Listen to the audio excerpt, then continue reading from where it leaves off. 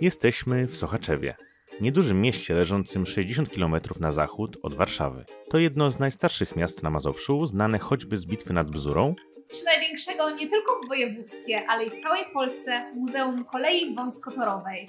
Niektórzy twierdzą, że także w Europie.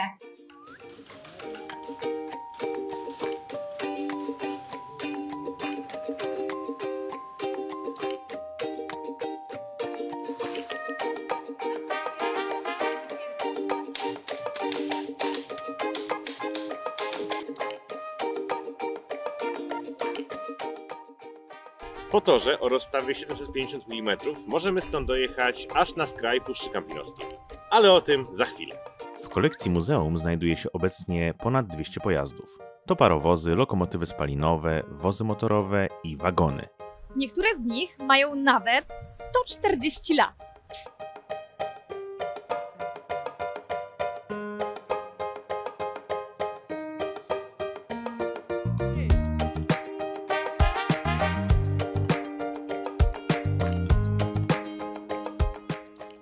Tych niesamowitych maszyn wciąż jest na chodzie.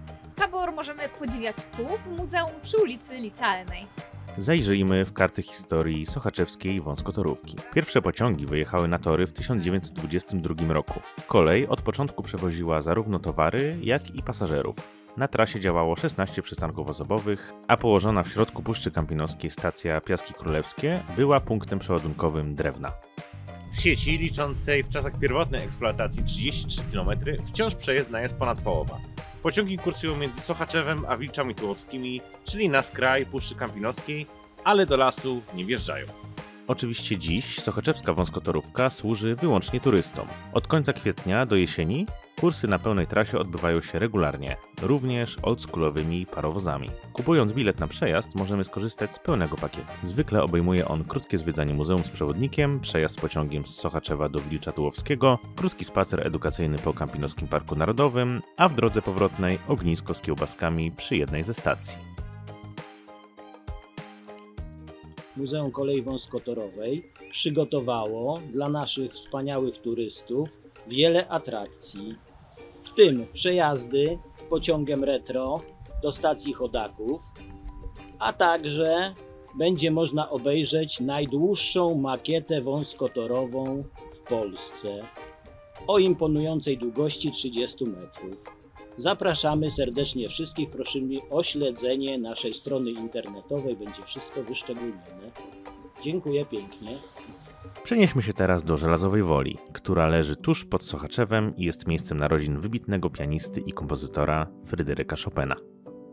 Chopin przyszedł na świat w 1810 roku, czyli ponad 200 lat temu, ale pamięć o nim wciąż jest żywa. Zwłaszcza tu, w domu urodzenia Fryderyka Chopina w Żelazowej Woli. Chodźmy do środka.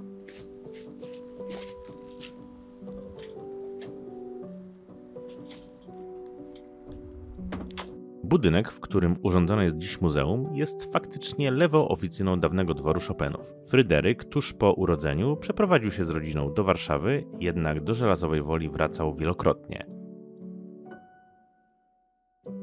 A być może nawet zdarzyło mu się dawać tu jakieś kameralne koncerty.